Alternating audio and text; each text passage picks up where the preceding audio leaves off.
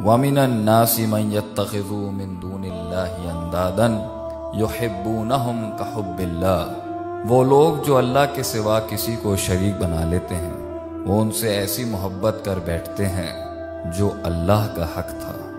वल्लजीन आमनु अशद हब्बल्ला अल्लाह वाला तो अल्लाह से शदीद मोहब्बत करता है। अल्लाह ने अपनी मोहब्बत का स्टैंडर्ड सूर तौबा में बयान किया।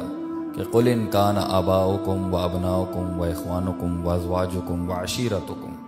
ये कह दो कि तुम्हारे बाप, भाई, बेटे, बीवियाँ, कबीले, रिश्तेदार, वो माल जो तुम कमाते हो, व तिजारत तकशौना कसादा वो तजारतें जिनका कम होने का तुम्हें खौफ है, व मसाकिन तरदौना वो घर जो तुम बहुत पसंद करते हो, राज़ी हो उनसे।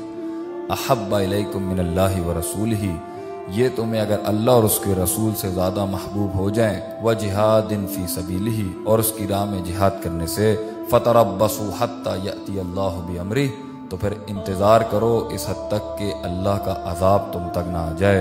वल्लादिल कौमल फासिकीन, और अल्लाह फासिक कौम को हिदायत नहीं देता। इंसान की ज़िंदगी तकलीफ़ों और मसाइब से भरी है। जो चीज़ इंसान को इस दुनिया में सुख, आराम, चैन, राहत देती है, वो अल्लाह की मोहब्बत है, उसका कुर्ब है। अल्लाह का इंसान के साथ वो ताल्लुक है, जो इंसान के सीने को ठंडा करता है। वो आँसू जिसके गिरने के बाद इंसान गम, हुजन और कर्ब का शिकार नहीं होता।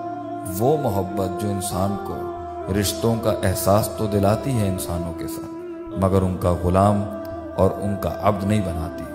इंसान का सुकून, उसका इत्मीनान, लोगों की इबादत से निकल के अल्लाह की मोहब्बत में डूब जाने का नाम है।